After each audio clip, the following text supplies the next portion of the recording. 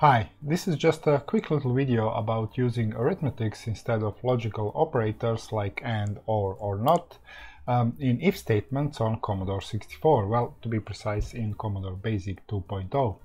Well, what inspired me to make this video uh, was the post in uh, Facebook Basic Programming Language group, so let me show you that.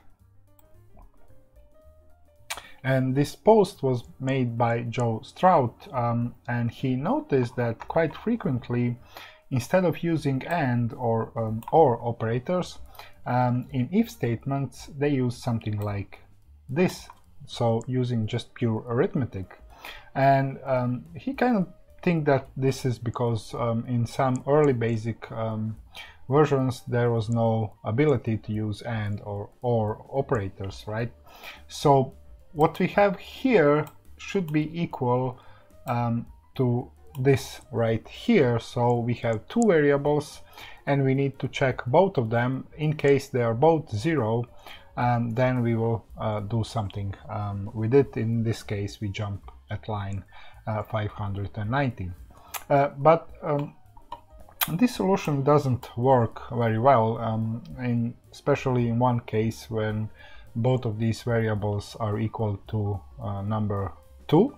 Uh, in that case we can have false um, result. The guys in the in the comment um, figure that figure that out um, very uh, very quickly, um, as you can see here. Um, so I try to uh, find a way um, to uh, create a solution that will actually work uh, using just pure arithmetics and you can see it right here. And then Peter McGavin figured it out well made a little bit better version. So uh, what I've done here because uh, we have to deal with positive and negative values um, as well.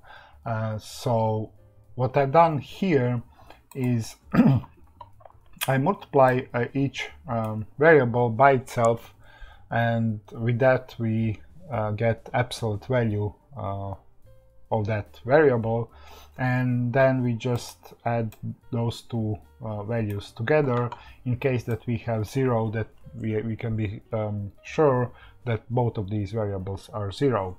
Well, what Peter McGavin um, quickly um, figured out that we have a function that we can use for this purpose. Of course, uh, it's um, absolute function. In case that we have uh, ability to use this function, um, yeah, we can do that as well. So, of course, there is some uh, other solutions for this problem. Uh, you can see here there, there is um, several solutions for this problem. Um, and I tried to take a couple of them. Uh, well, to be exact, I took like five different solutions uh, for this problem. And what I wanted to do is to compare them and see which of the solution is the fastest one. So yeah, uh, let me show you which solutions did I pick and then we can write a little program, little test program that we can measure time differences and then we will compare the results. So let's let's do that.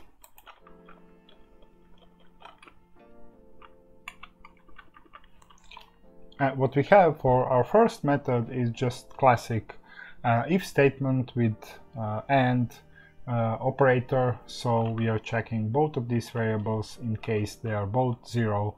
Then um, we will do something right? So our second our second um, method will be uh, nested ifs. So if A is equal 0, then if B is equal to 0, then we will do something. Our third method is going to be if and we are going to use equal to operator uh, to check individual variables. So let me do that. So again we are going to check whether or not variable a is zero. And then we are going to multiply that with um, b equals to zero. So and if this is equal to 1, then we can be sure that both of these variables are 0 because In case that both of these variables are 0, the result uh, of this comparison is going to be minus 1 multiplied by multiplied by uh, minus 1 and this should give us of course 1 in any other case uh, the result will be 0 so in case that variable a is not uh, equal to 0 then we will have 0 here. Of course anything that we multiply with 0 is going to be 0 and of course vice versa as well. So that's our method number 3 uh, method number 4 is going to be that pure arithmetic um, solution. So in case that we have a multiplied by a multiplied by itself plus b multiplied by b equals to 0 then we will do something. So and the fifth method is going to be uh, exactly the same like method number 4 except we are going to use the function that we have available in Commodore Basic 2.0 and that's uh, abs or absolute. So we will get absolute value of variable a plus absolute value of variable b. In, in case that this is equal to 0, then we will do something. And of course, we are going to test uh, several different cases. So we're going to test when both of these variables are equal to 0. So when variable a is equal to 0 and variable b is equal to 0. Uh, we are going to test when both of those variables are not equal to 0. So they are different from 0 and we are going to test when variable a is equal to 0 and variable b is not equal to 0 and of course uh, vice versa when variable a is not equal to 0 but variable b is equal to 0. Um, so yeah, four different cases, uh, five different methods, and we're going to test which one is the fastest method to use. Okay, so this is our test program and what we are going to do is we are going to run each of these methods, each of these if statements 200 times and we are going to measure how much time that we need for each of these methods. So here at line number 20 we have our for loop that will run this uh, line number 30 200 times and we have our variables a and b uh, and what we are going to do, um, instead of jumping to certain line, we're going to increment this variable c each time that condition is true, and then we are going to just increment the c variable. Um, the c variable is, uh, is here just to make sure that our program uh, works uh, as expected. So we know when, when we are going to expect to have variable c to have value of 200 and when we are going to expect to have value of 0.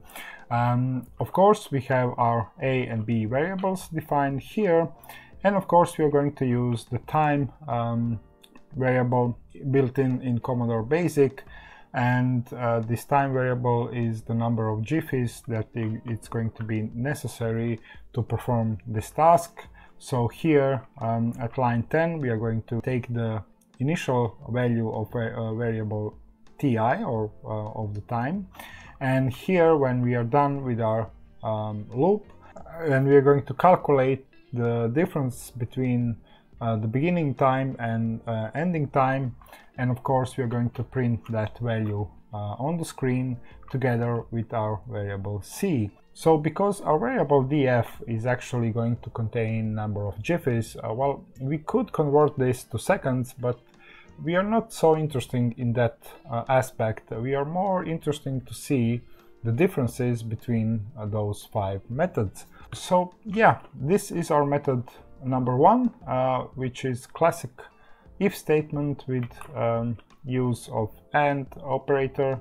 Um, so uh, our variables a and b are 0 and 0. And now let's run our method it's 148 and 200 so let me write that. Okay then we need to check when both of these variables are not zero. Let's run that. 89 0 okay now five zero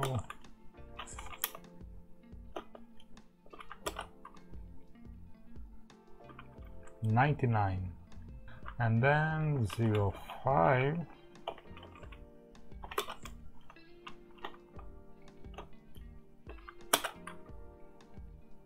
Ninety nine okay method number two.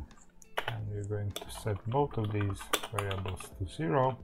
Our method number two is nested ifs so then if okay let's go with this. Let's run this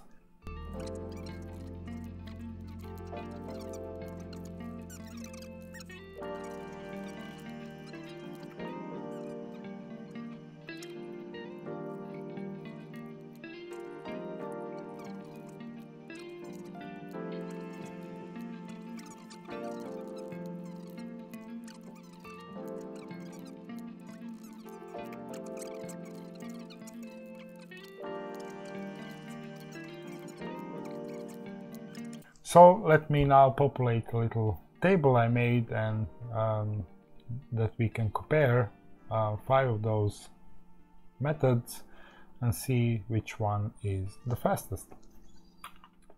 So, and these are our results.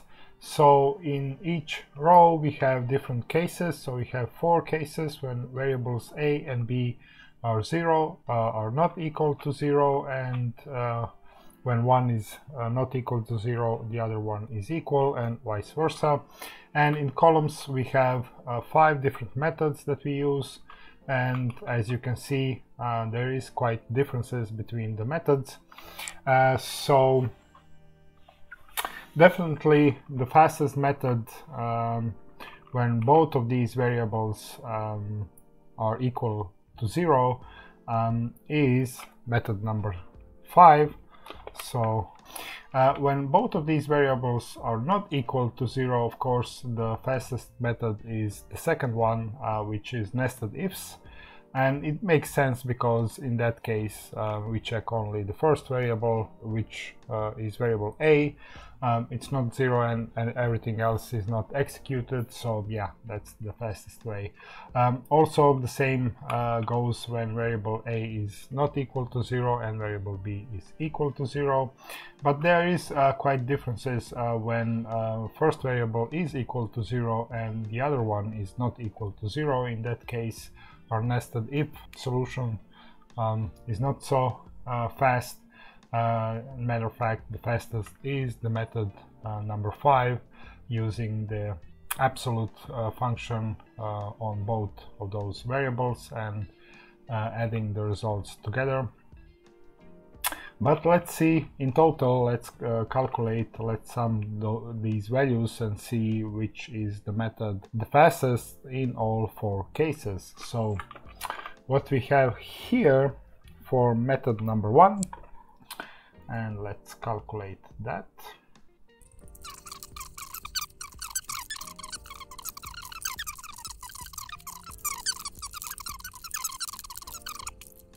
Okay and in the end we do have our winner which is uh, method number two and that's nested ifs. Um, of course, after that, um, the fastest thing is method number five using the absolute functions. So let me write uh, the numbers. So this is number one, this is number two.